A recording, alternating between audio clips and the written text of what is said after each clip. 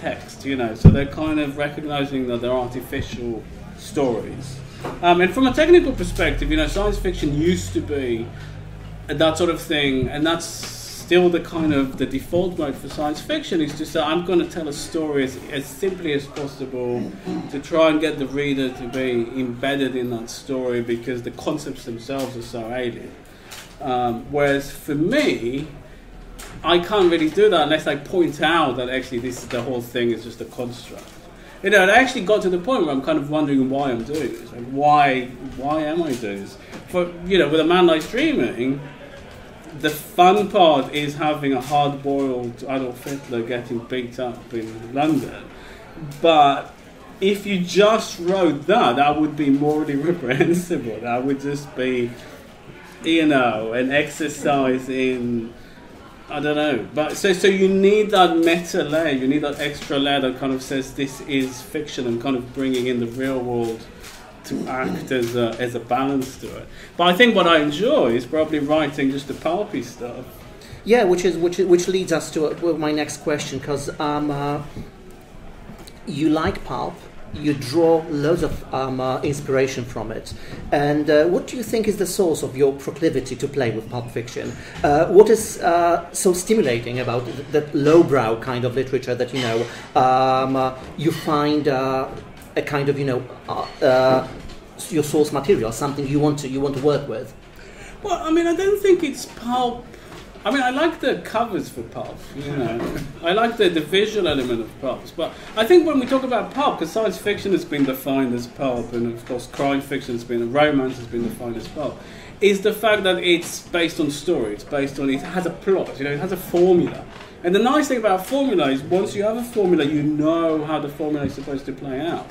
And I find it extremely useful, you know, because I can't, I'm not really good at plots. Like, I don't understand plots. And plots are really important in genre fiction because, you know, you want to feel your heroes are striving towards something and that they get there in the end. I don't really care. So I like to have a detective looking for something because then I know, oh, well, you know, at least someone has a reason to go and do something. Otherwise, I think my heroes would generally just stay home and not do anything. So it's, um, but it doesn't make any any difference to me because I don't really care about it.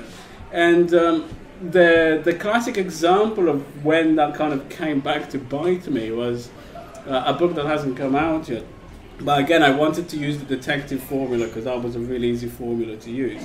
And so I have my guy looking for his missing niece, I think it was and uh, that kind of propels the plot along, and it goes off, and it's this very strange parallel universes, political pulp noir thing. And uh, I had to write a, a, whole synopsis for this book and send it to my editor at the time. And um, and she came back and she said, "That's that's really interesting, but what happens to the girl he was looking for?" And I said, "Oh, oh yeah, he was looking for this girl, wasn't he?" um, and I completely forgot. And obviously, you have to play. You have to play by the rules. So I had to figure out what happened to her and kind of write it because otherwise, people aren't going to be very happy about it. But you know, with a man lies dreaming, for example, that was it had that plot-driven thing, but I couldn't care any less about resolving the mysteries, and that was one of the things that came into edits is that people kind of say you have to make it a bit more of a mystery.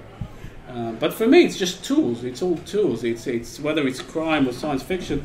If you know where the story's going, that's where I can go and have fun with it and take it somewhere else. That's why I argue that um, uh, you're more the postmodern writer than a science fiction writer for one particular reason. You know, um, uh, one of the definitions of postmodernism is you know that uh, successful combining of highbrow and lowbrow literature, and you can do that. You can do that quite easily, and you can do that quite successfully. You know, your writing draws inspiration from from pulp fiction, from pulp cliches, you know, from pulp formulas, but on the other hand, is very literary. So uh, I guess it's your conscious choice, right? To to use. And they're not always a metaphor for the human condition. I mean, we do actually have spaceships, um, and and you know, it is. I mean, I think with Central Station, which is my one science fiction book, I made a big mistake because I just wanted to play with all the cliches of science fiction, and you know, I want to have the robots and the dome cities and the thing.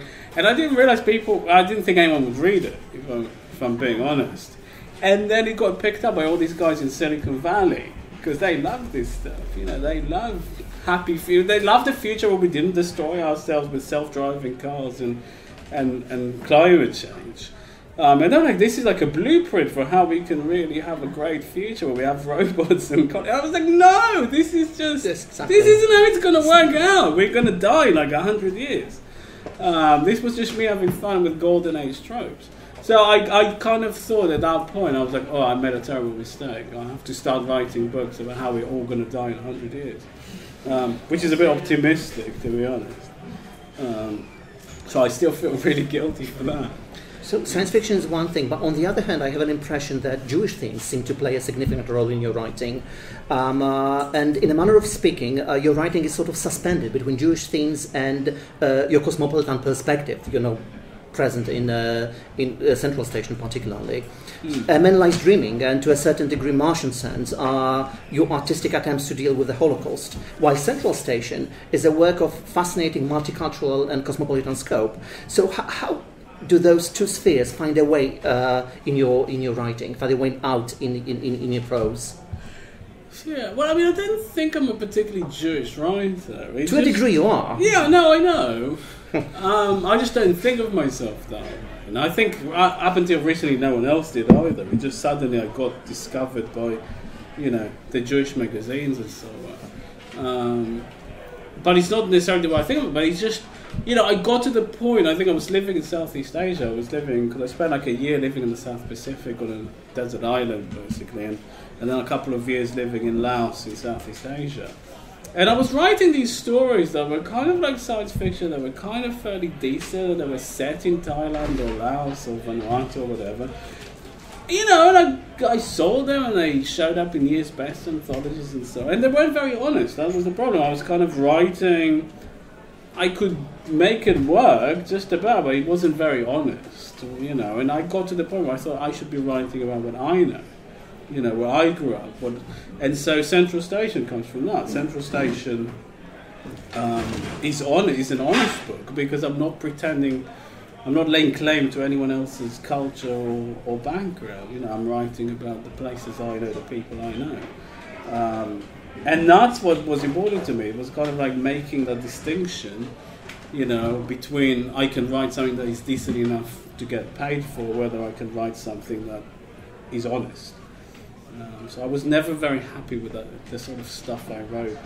So, uh, to what extent that all the traveling of yours, and you extensively traveled in uh, in Asia, South Pacific, um, uh, Europe, and, and Africa, informs your writing, and uh, not just traveling, but also different cultures, traditions, and particularly languages, because uh, your native language is Hebrew. Uh, you speak uh, South Pacific Pidgin English, but um, uh, you write in literary English. Uh, to what extent all these things inform your writing? Well, a lot. I mean, um, you know, Bislama, which is the, the South Pacific pidgin I speak, um, is a huge influence in Central Station. And I think the one mistake I made was because I got so used to incorporating it as asteroid pidgin. So the whole idea was that basically the people are going to go work in the asteroids uh, would be, you know, poor Pacific Islanders, so people from Borneo, people from Vanuatu, or the Solomon Islands. And they end up using the same contact language that people have always used, which is kind of Pidgin English, which is one of the simpler languages to, to communicate in. Um, and the mistake I made was not saying anywhere that this was. I kind of say it in the book, but I never put a disclaimer this is a real language. So people go, where did he. You know, he kind of invented this whole language. That's quite impressive. I'm like, I did not invent this language, it's a real language. Um, I just had to speak it for, you know, exclusively for a year. But funnily enough, one of the people who really pushed uh, as a, as a universal language is a guy called Ken Campbell, who was a big science fiction fan back in the 70s, and uh, sort of a, a weird theatre director. He did the Illuminatus trilogy. He did the Illuminatus on stage, I think, which was like a 12 hour production. Um, and he did Macbeth in Pidgin.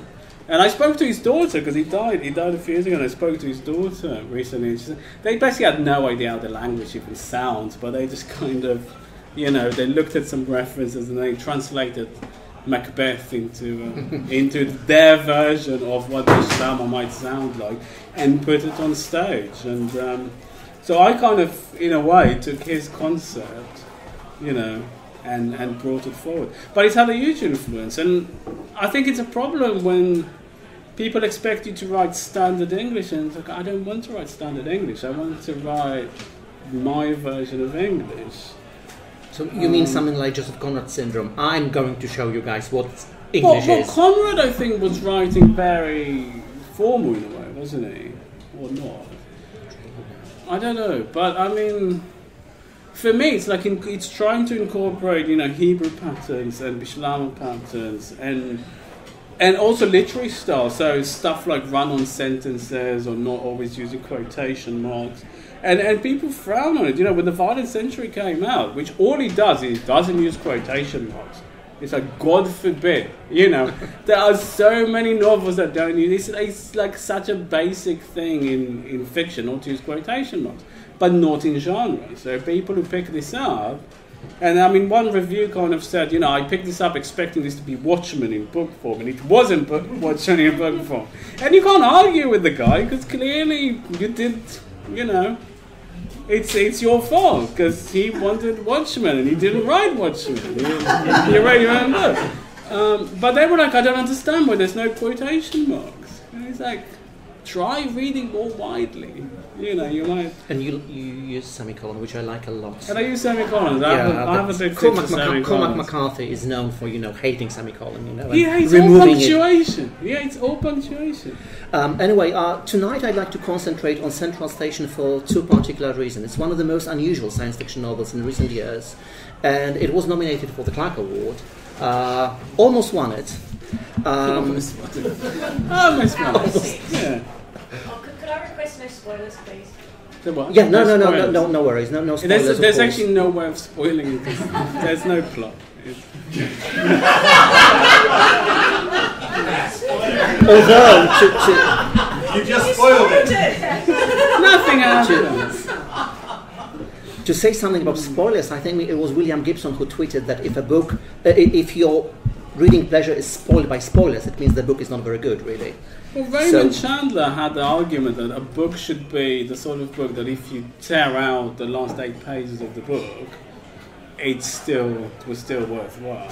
And I have to say, I, That I- actually I- happened to me, and it's incredibly frustrating when you're stuck on an on you know on a transatlantic flight, and you've been ex- really excited about this book, and you're reading through, and you leave to the end just to see, you know, and then you realise the end is missing, and you're halfway to Thailand on your way to the South Pacific, and that's the one book you have because they didn't have Kindles back then.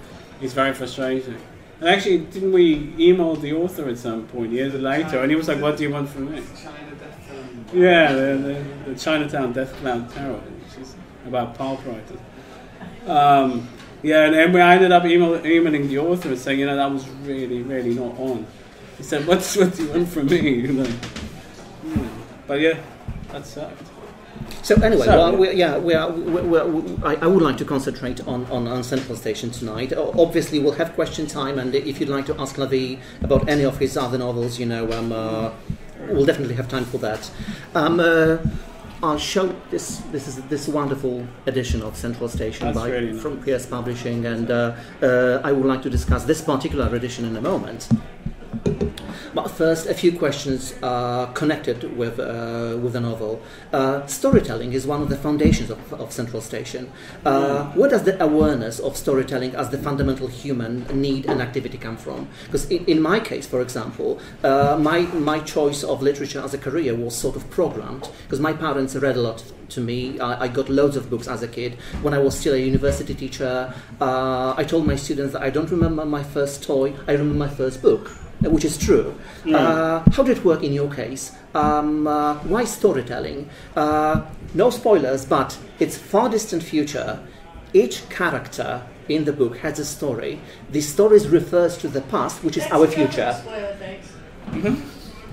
That really and that's spoil that's one of those Yeah. really interesting, uh, fascinating aspects of the book. Um, uh, so, how did it work in your in, in your case? That uh, the awareness that storytelling is such a fundamental human uh, human activity and need. Well, no, I mean, specifically with Central Station, actually, the whole wider universe, which kind of exists in short stories, is the influence of Cordwainer Smith, um, who was this obs- it's now very obscure, but was this American science fiction writer back in the 60s. Uh, and it was a CIA. Uh, was it wasn't it wasn't the CIA, but he was like an expert on um, uh, psychological Psychological warfare, warfare, yeah. and uh, he was very influenced by Chinese storytelling in turn. Um, so it's, it's and it's a, it's a handy shortcut for creating future histories because basically you're kind of telling the story from a position that's even further in the future where all this stuff already happened. So you're kind of going, oh, you know, it was the, the, the you kind of throw away a mention of the robot rebellion of 2000. and everyone knows what you're talking about because that happened years ago. So it's kind of a nice technique to use. Um, but you know that was kind of the what Central Station really is. It was kind of because the books have been doing the novels are so narrative driven because I've been using that detective thing to move things along. I wanted to do the absolute opposite thing. I wanted to write something that didn't have a plot and such, didn't have that kind of moving motivation, and you know it annoyed a lot of people really. Know, people don't. They kind of go, oh, this book doesn't have a plot. Um, it's like, yes, I know. Um, that's really annoying. Well, Arabian Nights don't have a plot, right? Right, And but- it works. But it's a different sort of project. I mean, if you look at, and i- in a way, this is this is very much homage to classic science fiction. So it's homage to City, Lord of Light. I mean, this is how science fiction used to be written. The reason for that is because you could sell the book twice. You could sell the short stories to a magazine, and then you could sell the book, so you could make a little bit more money. Um, so that's what I that's what I did. Um, well, that was my plan anyway. It didn't wasn't really a very good plan. But but it, because that model doesn't really exist anymore, and also because the Western science fiction model is so dependent on plot and action, Particularly on uh, action, yeah. particularly on action, I wanted to move. I wanted to do the exact opposite. But at the same time, I expected 200 people to read this book. Um, so I, clearly, I was I was very wrong about that. Um, but I still don't understand why people seem to like this book mostly because again, it doesn't have a plot. Um, nothing happens. I probably wouldn't have bought it. And I don't. I don't understand it. It's, and it's a a clever collection of short stories. It's a fix-up, right? It's Something they used to call a, a, a, a not. Fix-up. Um, uh, but was it your way? No, uh, this is John's fault. He introduced that stupid term, and we've all been paying for it ever since. Um, so the idea of a Conveyed well, I think I think you know what you meant by it, but I think people get it the wrong way. It's really frustrating. Basically, people think a fixer is you write a bunch of short stories and then you decided that they magically belong together and maybe you added a little bit in between. Whereas if you look even at City, you know, from 1953 or whatever it was, it's clearly written as a single work that's told in sections. Central Station was not, oh, I'm going to write a short story and then, you know, I'll match another. And this, this has been really frustrating for me in terms of the reviews. Because this is clearly a single work that just has been written over, you know, five, six years in kind of self-contained sections. And the reason I did that, firstly, is because it allowed me to do it while I was working on other stuff, and secondly, it allowed me to sell them individually and kind of make tiny bit more money while I was doing it. Um, but because that model is so alien to modern science fiction, which is about big epics mostly, um, people just didn't seem to know, you know, what to do with it where it came from. And there's this perception that uh, we just wrote a bunch of short stories and then kind of put them together into a collection. But if you, if you read them individually, even when they came out in Interzone or Analog or whatever, you can see the references to the other stories already in them. Which is a, w- a bit weird, what you just said, because uh, when you take a closer look at the, at the novel, what makes it a novel, you know, uh, and, and a coherent novel, to be honest, is the way all the characters are interrelated and uh, uh, interact. So there are, you know, those. Uh, each character refers somehow to another character. You know, they they somehow, you know, are in former partners or, or, or things like that. And I would like to concentrate for a moment on, on characters because Yeah. it's uh, it's a very character-driven novel and it's a very place-driven novel. You know that the Mm. central station, the specific place. We'll get back to that in a second. Uh, but I, for a moment, I would like to take um, take a closer look at, at the characters, particularly one of them, because when we take a look at this book, guys, It's a beautiful Yeah, edition. And uh, I I think that the designer of, of that illustration, Sarah Anne Langton, uh, was awarded, right? She, she won an award for, for this particular illustration. And obviously, we would love to have this book in our hands. We would love to read it. We would love to, you know, keep it and, and have it. Uh, one of the characters in Central Station is uh, Achimwin, right? Am I, the, the, Achimwene. Achimwene, Which yeah. is um, It's which is very difficult to pronounce. It's Chichewa. Um, sorry. Uh, yeah, it's it's uh, it means brother in Chichewa, which is the language spoken in Malawi. right.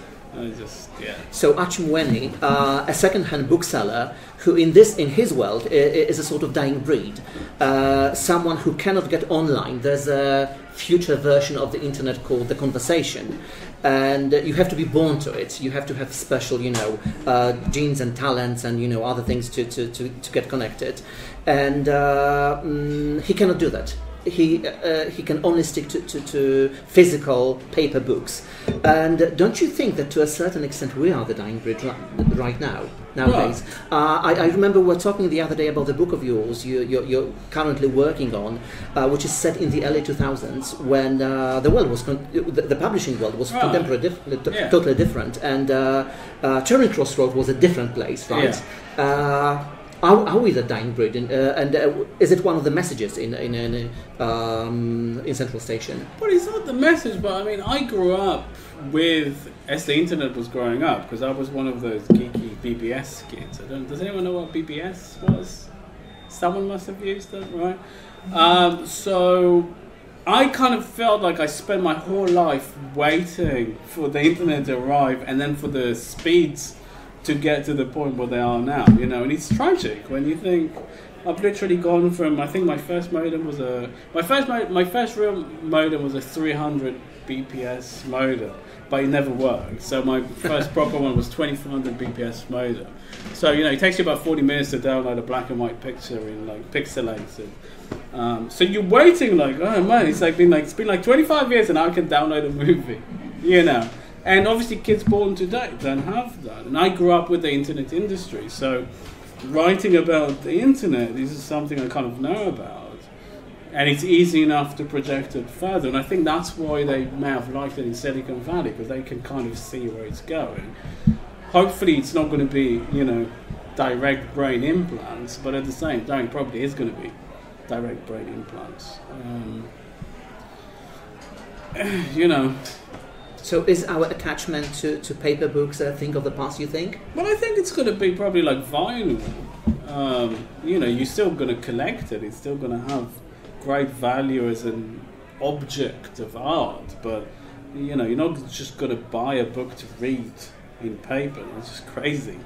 I mean, um, you're just going to read it on your. I mean, I you know now if I want to read a book, I read it on my phone. On a, yeah, I just read it on my phone basically. Um, I buy a book if it's you know if it looks like this, I buy it because that's amazing.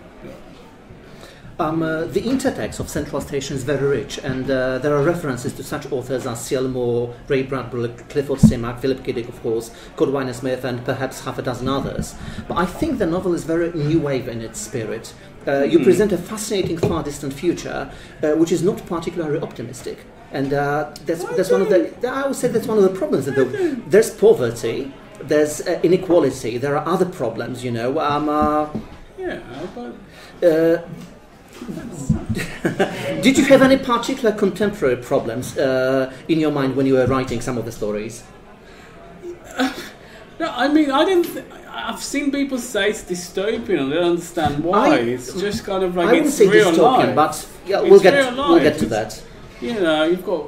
But um, no, it's very much inspired by a real time and a real place, which is the central station area of central station, the central bus station area of Tel Aviv, which is um, basically now inhabited by both African refugees coming in from um, Sudan and Eritrea, and by um, migrant economic workers from Thailand and the Philippines and places like that. So it's an absolutely fascinating place. You know, it's incredibly poor. There's still a few kind of old Israelis still living there, you know, kind of holding on to what and and it always used to be kind of the dodgy part anyway. So you had all the junkies and the prostitutes, and they're still sort of hanging on. But now you have like a quarter of a million refugees and immigrants in. So it's a fascinating place. And in the middle of that is the actual Tel Aviv Central Bus Station, which is this enormous monstrosity uh, that's like a, a town unto itself with its own nuclear fallout shelter. Uh, which is amazing. So I mean, you couldn't, you, you know, when once you start going there, you kind of think I have to write about this place. So really, I'm just kind of projecting a little bit ahead, you know, with the addition of a few spaceships, and you know, I know what I wanted to do was kind of have all the golden age science fiction background I could have. I wanted to have everything in there, all the cool science fictiony stuff, and then just ignore it completely, and just have people kind of get on with, with stuff, you know. So. But like I said, I just didn't think anyone would actually care. Um, that's, that's where I kind of went wrong. So. Um, uh, so the equivalent of uh, the internet, but also the matrix from uh, numerous cyberpunk texts in Central Station is the conversation. Uh, so it almost automatically Mine links. more technically correct than William Gibson, Yeah. imagine, but yeah. But it almost automatically uh, links you to, to cyberpunk as this specific gen- subgenre of, of, of, science fiction. But y- y- you never spoke highly of, of uh, cyberpunk, you know. Yeah, but did it ha- have an in- influence on you-. Because to us, I, I wouldn't say that to any degree this novel is cyberpunk, but it draws inspiration from cyberpunk, definitely. Well, it draws inspiration from everything, but I mean, cyberpunk was essentially. I mean, Neuromancer is essentially taking Raymond Chandler and doing Raymond Chandler with, you know, computers. That's kind of it. It's, it's hard boiled, it's noir. And then, if you remember, all through the kind of the 90s and the early 2000s, British writers kind of went, noir is super cool, let's do science fiction noir. You know, Richard Morgan did science fiction noir, Alastair Reynolds did science fiction noir. I mean, they were great books, but I mean, everyone was doing that in a non cyberpunky way for a bit. Whereas cyberpunk itself was kind of like you had William Gibson on one end, you know, with Neuromancer, and then 10 years later you had Snow Crash. And in the middle, there was a lot of people who kind of said, "Oh, I, you know, maybe I should write a book like William Gibson. I could also make millions of dollars or whatever." That doesn't work. So no, there's nothing cyberpunk in Central Station. Um, it does. It, there's nothing hard boiled or noir about Central Station. I should say. Um, it's got computers in it, but that's that's just our reality. That's But also low light, which is which is very much cyberpunk like. Yeah, but Cyberpunk was always about how cool it was because they're not really low lives, are they? They're more like, I'm a hard code, I'm a cowboy, I'm a code cowboy from the sprawl. You know, they weren't really like, I'm just someone who tries to get by. They're always doing something really important, like saving the world from the AI that's going to communicate with the other AI who lives on the other solar system or whatever. Whereas my guys are just kind of like, you know, I just need to pay for school and make sure I've got a meal and I've got kids to raise. And, you know, that's really not cyberpunk, is it? Um, no one in cyber ever thinks, you know, I've got kids to, I've got to take the kids to school before I go off to design asteroids to, to fight the AI. It's, So uh, you, you you sort of disagree with uh, the interpretation of uh, Central Station as a dystopian novel, and I, I, I wouldn't say it's particularly a dystopian novel, uh, not in the you know long tradition of dystopian novels. But on the other hand, and uh, that's not a spoiler, uh, but none of the none of the characters ends up as a particularly happy person. There's not so much happiness, that's you not know. true. That's, that's a, see, I don't see that. I don't see this dystopian at all. I just see I'm not saying dystopian, but you know, not No, particularly but- happy, not particularly optimistic. Why? It's all, well, it's all about romance. It's a romance novel. That's the way I describe it. It's a romance novel, and most romances sort of work in the end. So it ends with a it ends with a funeral and a wedding. So there's obviously a, a big Richard. well, spoiler. not really, but, but there's a big Richard Curtis influence. There's like four weddings and there's a funeral. That's, um, but that's just normal life. This is what I mean. So you know, and some of the couples are. I did want to do the kind of four weddings and a funeral ending at some point. You know, when when it says what happens to everyone after the credits yeah, you just get the sense that they kind of this is just a moment in these characters' lives, and they go on and do other stuff that you just don't know about. But I think it mostly works out. It's a, I'm not saying it. it's a happy Yeah, but- sort of, Well, no. other than the funeral. But Um, anyway, um, uh, you like working with really big figures. Uh, A Man Lies Dreaming, main character is Adolf Hitler. Your uh, new novel, uh, coming out at some point next year uh, from uh, Press, is uh, your take on Philip K. Dick's Ubik, but its main character is uh, L. Ron Hubbard. no, no. I mean, for legal reasons, I must say that L. Ron Hubbard had nothing to do with this book. And, um, But he's a main character. No, no, no, no, no. There's no L. Ron Hubbard. There's, there's a guy who most likely resembles certain incidents in the life of L. Ron Hubbard, but for legal reasons, again. I, But could you briefly introduce the novel? I don't even know the title. Well, no, because it doesn't. Well, I do have a novel coming out hopefully next year, and it's. Well, L. Ron Hubbard. I wish you didn't bring this up. I mean, um, but again, nothing but respect. Um, anyone listening. Um, Yeah, there are people out there. yeah, to, to the people who are listening. No, I mean, I love L. Ron Hubbard. I mean, I absolutely adore L. Ron Hubbard because he was the guy that everyone wanted to be, basically. You know, he was the pulp, he was the ultimate pulp writer, right? He was the guy who kind of made his life writing pulp fiction, and he was really good at it. And he said, you know what, I could go that one extra bit. And they all wanted it. You know, Heinlein wanted it. He could never do it. You know, they all wanted, you know, the guy, Frank Herbert, you know, they all wanted it. They were all obsessed with the whole idea of messiahs. And this guy actually said, I'm going to be the messiah. I'm going to start my own religion. And he did. How awesome is that? I would do it. I'm too lazy. most, most writers are too lazy, but he could actually carry it off. But the great thing about L. Ron Hubbard is after he's done all this, after he's started his own empire, you know, and after he was worth billions of dollars and he has this, um, you know, this all these ships traveling around the world for 10 years, he was living on board this yacht, sailing around the world. He kind of goes, you know what? I really like writing science fiction. I don't really like this stuff. So what I'm going to do is I'm just going to leave it to someone else to deal with. I'm going to go and live in a trailer somewhere, and I'm going to write science fiction. And he did it. And that's what he did. yeah. You know, he had two typewriters, packets of cigarettes, and he wrote Battlefield Earth, great film, um, great masterpiece, and uh, you know that ten volume thing that he wrote. The, Invaders plan. The what? The invaders plan. That No, it's like the 10, 10 volume. It's like this science fiction. Yeah. Science fiction. Um, and he wrote that and then he died. I mean, and I think that's the greatest thing that anyone can do. He kind of went, I did all this, I've done everything. And actually, I just really like hanging out. Um, and that's what he did. You know, if you read about the early days of science fiction, the golden age, it was just Heinlein kind of hanging out with Campbell and Asimov and Heinlein, um, having barbecues in the backyard. But it's, it's kind of that dream. It's how, how does science fiction become religion? You know, how does science fiction become this force? It comes out of the book and it comes into real life. And, you know, stuff like UFO religions I find fascinating. And so, so writing about someone like L. Ron Hubbard, again, for legal reasons, I must state that there's no connection to the real L. Ron Hubbard whatsoever. Um, you know, how can you not write about that? It's so interesting. And it's, the 20th century is such a science fictional century. Um, and it's really interesting to kind of look at those forces and how fiction and reality kind of intersect over and over. Um, how much time do we have? Yeah, can, can I get? Yeah. excellent, excellent. Thank you.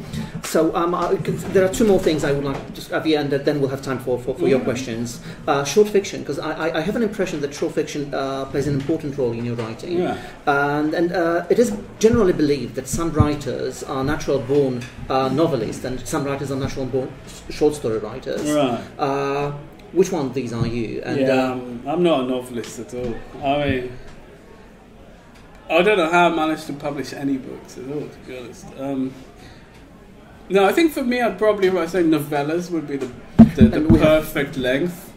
No, that's a that's a proper novel. It's that's, short. that's I would say so. that Well, yeah, it's a very short novel. Yeah. It's not very short. but I mean, ideally, the novella would be my perfect length, but obviously, that's also what pays the least, and no one wants to publish it, and it's an absolute nightmare. So, Um, yeah, but you know, I'd happily. Or oh, I used to write a lot of short fiction. Now I kind of write less short fiction. But I'm still. I'm really not a long. Not a novelist. And writing, especially now, because like in the '60s, you could get away with a Penguin paperback for 50, 60,000 words. And now you're you're expected to deliver ninety thousand words. Like I don't know, ninety thousand words. Like you could write the history of the human race, and you'd still have like fifty thousand words left. Probably. So I really struggle with it. So, i- i- is this why you once described uh, the Violent Century as your accidental novel? Because Did I? yeah, you did, you did. Mm. As a kind of you know I- writing I'll, accident. I'll Could- take could your you- word for it. But um, no, that was a difficult one. That is structured as a novel, but again, if you look at it, it's kind of set pieces a bit, isn't it? So it's got a bit of a bit set in the Cold War and a bit set here and a bit set here. It's a proper novel. Well, what I learned is I kind of have to fit my strengths. So if I can write bits and sort of, yeah, do something, join them. I don't know. um, it's quite, but that's why something like the detective plot is quite nice because that kind of allows you to move along. And I mean, a lot of science fiction and fantasy is really just about exploring the world that you find yourself in anyway. Um, and I thought that was quite nice. Like you can just you can, you know, you're a bit of a tour. It's a bit like travel writing, basically, science fiction. Um, but yeah, I do find it a lot easier in short stories, and also it's so much less work. It's, you just, you know, something happens and it's over, and then you move on to something else. But books, you just like. Uh, So, what is your current project? Is it short fiction, novellas, or, or, or a novel? No, so I'm working on that stupid not. Ron Hubbard book, um, which is kind of cool. And you've Um, just finished uh, a book for children, right? Could you say? No, no, I can't say anything about Okay. that. Uh, but yeah, also that seems really ironic, doesn't it? Because you know, imagine these poor kids. They kind of they say, "Oh, I, I like this guy. I I wonder what else he's written." oh, Adolf Hitler. Uh, that sounds Yeah. Adolf Hitler novel. So yes, I wonder what he said about Adolf Hitler. Um, so that's going to be interesting. But um, yes, but now hopefully the next kind of big book would be this book about basically about science fiction's golden age and how it shaped the 20th century. Um, and it is kind of my response to Ubik in a way. So. I don't know. I'm at the point. I'm editing it now, and I hate it. I hate everything about Again, this a very book, so- postmodern approach, right? Your personal take on, on Philip K. Dick's, just like this one is. Um, uh, Martian Sands. Uh, Right. Uh, yeah. It, it, it's Lavie's take on. Uh, Uh, the threesome. Which one is it? Uh, can't even. uh, Which is his Martian? Which of his Martian books is it? Martian Times? Martian Times. Yeah. No, Yeah. no. There's a bit of a simulacra in it because actually I only like the Philip K. Dick books that no one else likes. So I like the simulacra and I like It's not a bad the book, really. the Game Players of Titan. Which no. It's a terrible book, but it's a great book. You know. I hate Ubik. I absolutely hate Ubik. It's a terrible book. Um, so that's why you wanted to play with it, you know, your. Well, I've got a, I've got like a throwaway reference to Ubik at the end of, you know, the, the Hubbard book. But Yeah, which is something, you know, I suggested you a different take on it and yeah, no. a different Um, ending, so. But yeah, so I mean, Osama in a way is kind of my man lies dreaming. Um, it's my man in the high castle. Yeah. And then what's a man? What's a man lies dreaming? I don't know. But Not really a, a Philip K. Dick reference. well, I think they all kind of correspond with different Philip K. Dick books. You know, Uh, one more as- aspect of Lavie's work I would like to emphasize tonight is his connection with art and artists. Uh, he's written two graphic novels, and uh, he's been very successful with uh, writing, uh, working with, with artists. And he, here are two examples. Uh, Sarah Anne Langton, you know, um, designed this wonderful cover, and uh, as I believe was awarded for this. And uh, Pedro Marques from Portugal, who designed this cover, and uh, Osama original cover. Uh, what's your experience of work, working with artists? To, to what extent working with visual artists informs your writing, stimulates you? Well, Pedro is a bit of a, an exception because I have no input whatsoever into what Pedro does. And basically, PS got him to do my first because I did my first novella with PS Uh, Publishing. do you happen to have the Czech copy of um, uh, No, I didn't bring it. It's Come so on, I ask you. It's so heavy. It's wonderful. Um, and also, I don't know who designed it. No, but um, with Pedro's, PS basically found him with my first novella, and then he kind of became my default artist. And he's, he's brilliant. I like I read an interview with him when he talks about what he does, and it's all references to 1950s and 60s European designers. I don't know anything of what he does. So I never know what he's going to come up with, and he does all my PS Publishing limited editions. And I, you know, with the Osama, I mean, I we were expecting a sort of detective noir cover, and he came up with this hyper modernist penguin cover. You know, the shadow, the silhouette, and the thing. It was amazing. We were like, okay. Well, I mentioned the, the, the Czech edition because it's particularly beautiful. It's it's one of The the best Czechs do- covers I've ever seen. And the first thing, you know, I asked Lavie, what's the name of the artist? I want to know the name of the Yeah, he doesn't. I, I still don't know. But the Czechs, they did, the, they they do like really interesting covers. But um, again, I don't really have any say in it. But with Sarah, in particular, I designed. You know, well, I say I designed. That might be a bit of a, you know, glamorize my role a bit more than it is. But I do the art direction. You know, so and we we basically we got introduced by a mutual friend and it turned out that we kind of think in the same way that we both like retro futuristic pop covers. Which actually, you know, Um, um, I, I discovered at some point because I happen to have a collection of old Soviet post stamps, set Right. space post stamps. It's exactly like one of them, so I believe that it, it was heavily influenced by one of those, you know, uh, so, Soviet Soviet um, uh, Well, I mean, space exploration era uh, post stamps. yeah, this is so. This is the original poster. This is the cover for the book. So the if you can see the kind of the frame on it, the these are orange groves from a 1930s Visit Palestine uh, poster. So I kind of located the poster and kind of we ended up using that. And then I don't know how she came up with that weird mushroom space station. I had nothing to do with that. And the rockets are actual kind of designs for spaceships. So that's the one thing we get the most comments on. They're, they're called pylons. Pylons. Every time this gets tweeted or something, someone will tweet you back and go, "Oh, pylons! Well done for using pylons." Like apparently there's like a whole fan club for pylons and how they're going to change the future. But I don't know what they are. but they're like, "Well done! I mean, that's really cool. You use pylons in the." So that's all that. But I, I basically just say we, what we need is something that looks like this, and maybe we have the influence of this artist. Can you do something? And then she comes with that, and I, I, I take full credit basically. I did that.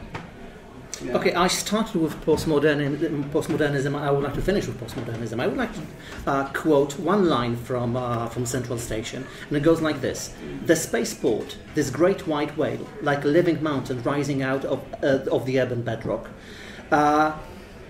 When I was reading it the first time, you know, I almost automatically associated it not with Moby Dick, you know, not with the white white whale, but with the Dragon Gruel from uh, the stories by Lucius Shepard. Does anyone know them?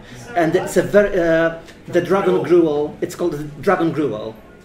Greek grill. Gruel, Gruel, yeah.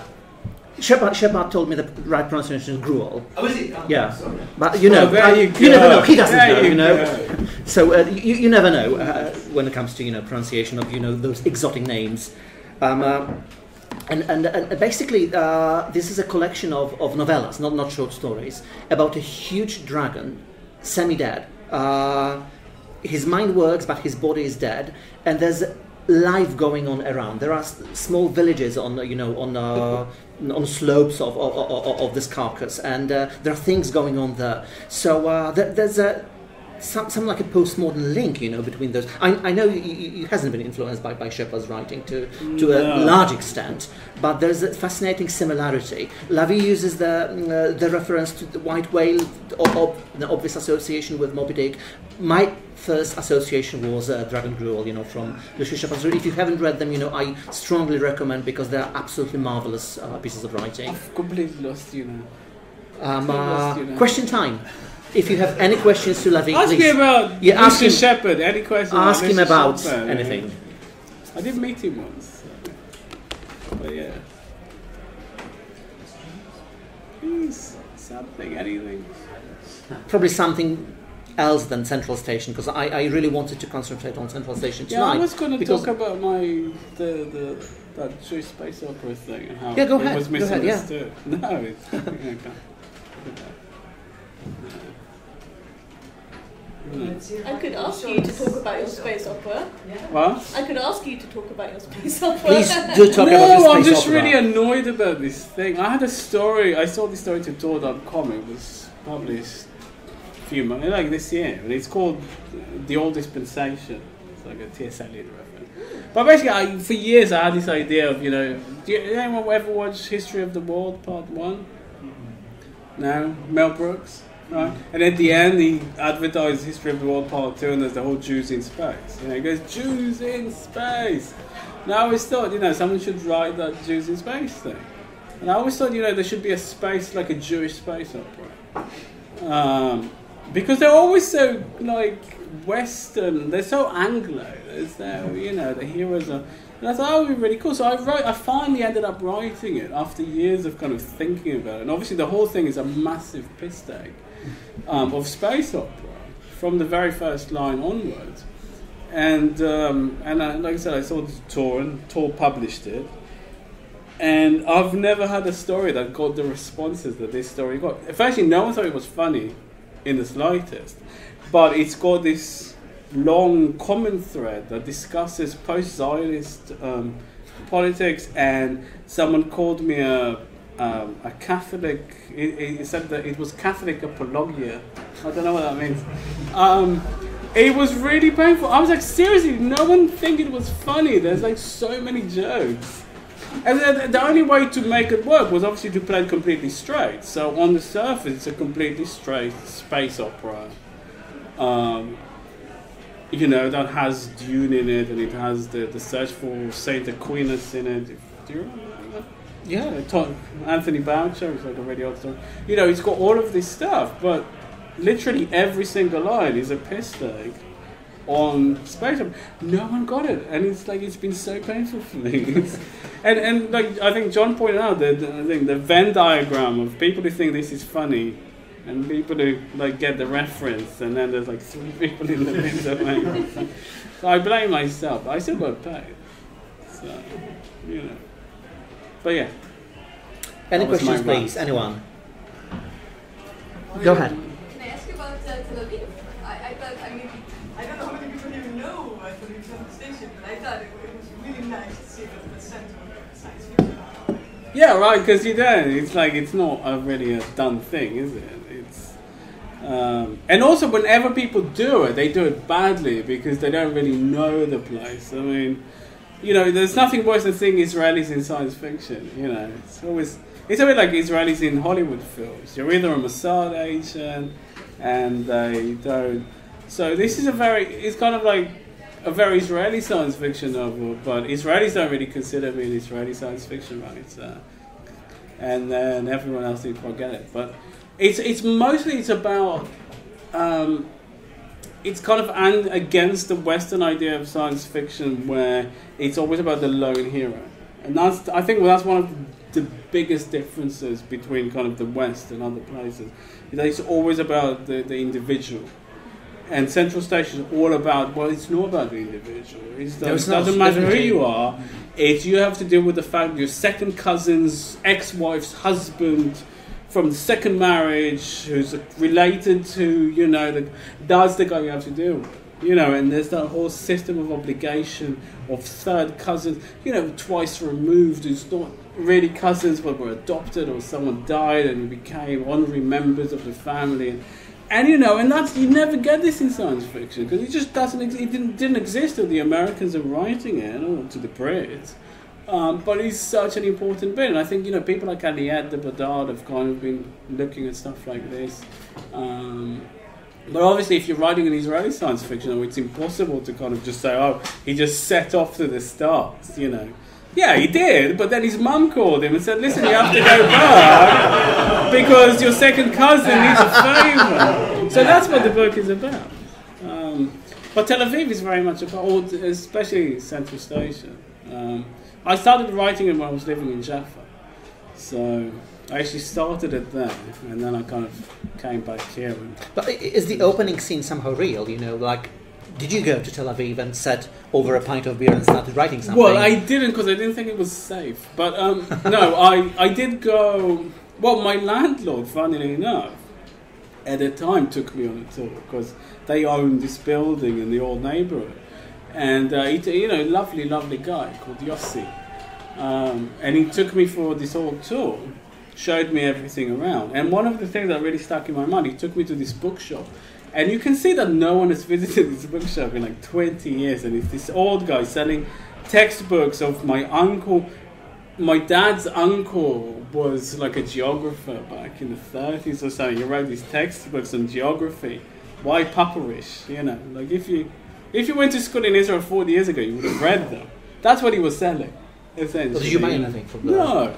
I didn't buy it. And he goes, oh yeah, you know, and there was like like a double murder across the road from me yesterday, you know. And uh, and in this little shop, he had hanging from a like literally from like a string in the shop. He had this plan for Central Station. You know, the the original plan Bus station. for the for. And it's this amazing utopian building. You know, it's this. It's it's really amazing. It's remarkable. And you, and, and you see him showing it to you. He's like, look, this is what could have been, you know. And I left, and I thought, oh, you have to write this. I mean, you couldn't make this up. Um, but you do want to keep the kind of double murder and the prostitutes around the corner. um, but it's always that what could have been, you know. Um, but it's an amazing place, and like I said, there's no one writes about these places. And when I went to Israel, like you know, I, uh, I think that one of the last conventions I went to Israel. There was this guy doing a comic, and you know, this is this what happens where whichever country you go to. And you go, oh, that looks cool. He goes, yeah. He goes, it's vampires, but it's in Tel Aviv. it's like, yeah, well done. And then you keep, it's zombies, but it's in Krakow.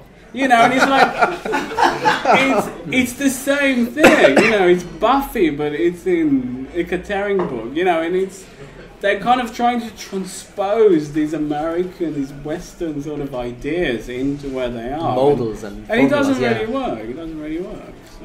John? I, I actually have a question. I could ask you this privately, but um, just building on what you were talking about, you were just complaining actually publicly that uh, As usual. people didn't get the jokes. They don't get your- the jokes. in your Jews in Space story. Right. Okay. So, do you think um, the readership, wherever they are, doesn't get other aspects of your work? Oh, yeah. Um, And it's a question that kind of leads on to where, where do you see your ideal reader? Who is a Lavie Tidhar reader? Excellent. Your work is very eclectic. You're writing, and you know, I've, I've read a lot of your stuff that other people won't have read because it's not yet published. But Yeah.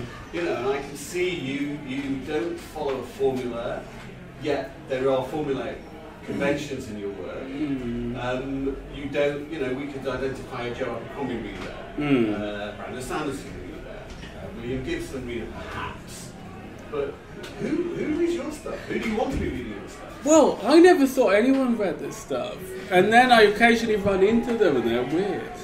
So, you know, they are. They're odd people. I don't know what makes them tick. Are you Um, saying we're all weird? Well, I do get, I do get a few, To a a few special cases. No, um, But No. also now you've written, even though you haven't spoken about it tonight, you've, you've written a children's book.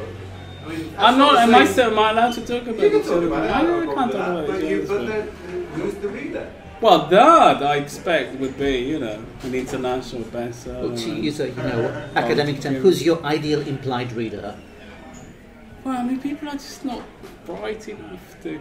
No, um, I don't know. I mean, what surprised me, you never know who the hell is going to read this. I mean, Central Station, I honestly thought, you know, 200 people are going to buy this book, maybe. And that was, and I was quite relieved. Like, I'm, it was my vanity project. It was like, I'm just going to put it out there.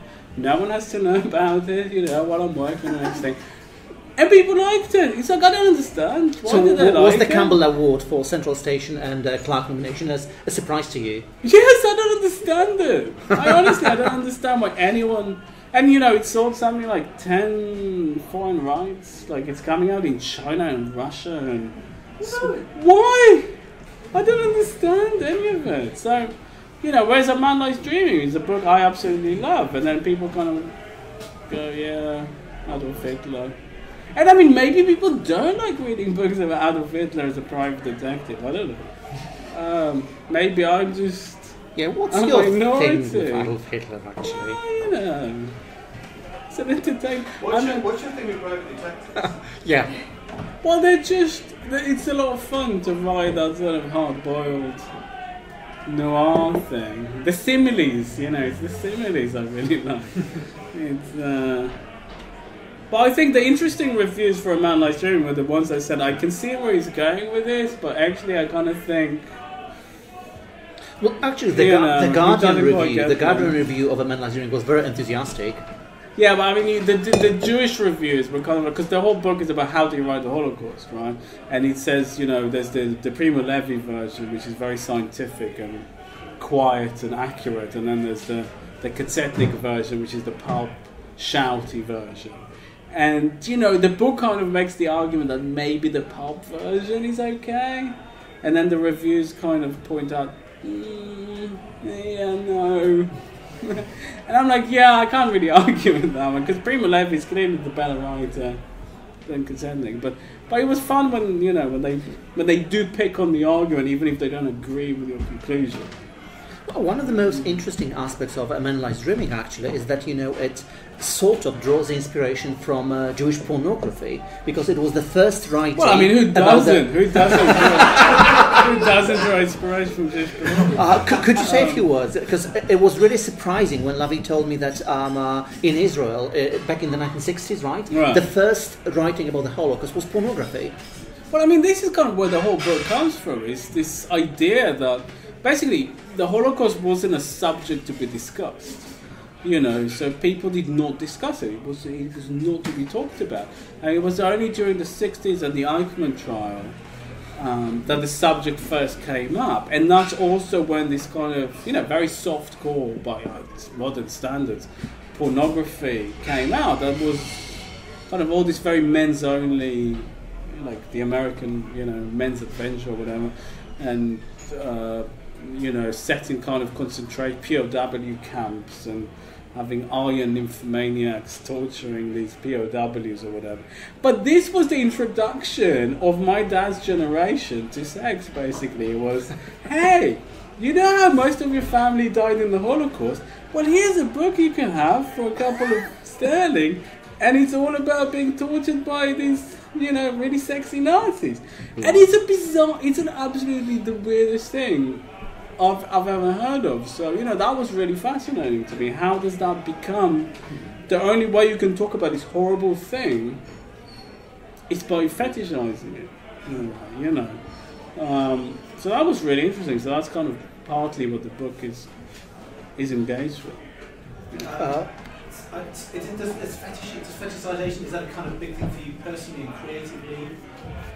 Because I, I picked up a couple of Yeah. No, no, no, it's really, I mean, 'cause I, I really loved Osama, and I, I thought, and I picked up what you said about the, the, the, the bookshop, and the Osama there's that lovely scene with the old guy and the tie. Yeah. who- the- who's got lovely Could have been better and a and this written. kind of stuff. And it's and it's a really lovely relationship. Right. It keeps him happy. Yeah. And it's like, and I, I've just, and other things like you're saying, of fetishism and porn and everything is, um, a- and L. Ron Howard as well, and all these kind of things that are very, very, very, very, about, Scientology is very fetishy. It's about the suitcase with the piece of paper in it and the thing, and the Mm. thing you're always, you're always yearning for something you could never get, and is, and how, because I've kind of, I, this has been such a, this has been such a great kind of listening to you talking. It's been really inspiring, especially now, kind of, oh yeah, you know, you have to do all this stuff and follow these Well- formulae and all these kinds of things. And It's and I- daily Lavie's morning, you know. If you um, uh, follow him on Twitter, he does it on, on daily basis. Yeah, like Yeah. moaning about everything, you know. When But yeah, that, 'cause no. He's really good at it. like He's really good at it. Okay. But yeah, no. No, I mean the the the Katoi thing in Osama was purely because you know when you live in Laos, Yeah. that's kind of part of life that you have. It, it's really just it was really that about other things and then fetish and different are these kind of through lines in your But it wasn't fetishized in Osama, is what I'm saying. It was Mm. just part of. It was really only. It was only a man lies dreaming where, which takes it. But that's that is a part of what happened with the Nazis that Mm. they became fetishized. You know, the, the, the uniforms, the Hugo Boss thing. You know, the the leather. But they Um, themselves were very fetishy. They were very into the occult. Yeah, they were very. They were, well, actually, so my because I loved writing that particular Hitler so much, I keep Mm. writing short stories um, set in that universe, even though they don't really serve any useful purpose. but um, so the next one is coming out in Apex magazine in October, so in a few days. Um, and that kind of goes into that occult obsession where they were like, you know, the, the, the, the spear of destiny and Mhm. you know, oh, nudism, that's a good, veg- vegetarianism, Yeah. you know, let's kill everyone. You know, they were like, you know, summoning demons. Yeah, all these things are really cool ideas. Architecture as well, because Yeah. Yeah, Absolutely. Spear and they were all This whole idea Build way of of yeah. Build rebuilding. Berlin, amazing. Yeah. They were all insane. But I mean, that's what's so interesting about the 20th century Yeah. That there was so much weird stuff. I mean, if you look at, you know, L. Hubbard in the 50s when he visited London, and he's giving these lectures, you know, and everyone's in suits and ties because I was obviously the one, and he's talk, you know, he's talking absolute bollocks. but there's this whole auditorium full of people because the 50s they were like, is ESP possible? Can we communicate with cabbages? Yeah. You know, they were into it. You know, the, the Mysterious Life of Plants. That was a book I kind of grew up in in the 80s. So, um, yeah, but so can, can, can I telepathically talk to a cabbage? You know, is free love real? You know, can I astral project? And so they were all into that, and it's very hard from where we are, in a more cynical age, to kind of look at the 50s, and they just came through the war, and they're kind of like questing for meaning, you know, and everything is possible. It's amazing. Does postmodernism have some responsibility for trying to kind of make that happen now and it become kind of dangerous? Do you think? No, I mean, I like post postmodernism is more of a literary thing. It's kind of highlighting More a the text. strategy than a movement. Actually. Yeah, it's a t- highlighting a text in a text, and when it's good, it's really good. But I think the problem we have is that we either have genre trying really hard to just be so kind of realistic feeling that you forget it's a story about aliens, you know, whatever. But at the same time, you know, the, the, the writing that we seem to hold up is basically stuff people write in New York. And I'm like, I've never been to New York, so I don't really care that much. That's, you know, about sort of literary, important literary fiction that came from New York doesn't interest me that much. But then my, you know, my background where I've been is so different to that. And I'm like, there's, there's only so much I can see. I mean, someone asked me recently if I could write, um, you know, it's Halloween coming up. He's like, can you write something for my site about Halloween? Like, do a list. Like, I don't know what Halloween is. Like, I, I watched it on American TV. That's what I know. But it's, you've got the wrong culture. Like, I don't, I don't know what it is. Got nothing to do with it. You know, ask me for a Hanukkah list. and, yeah. Uh, the last question, please.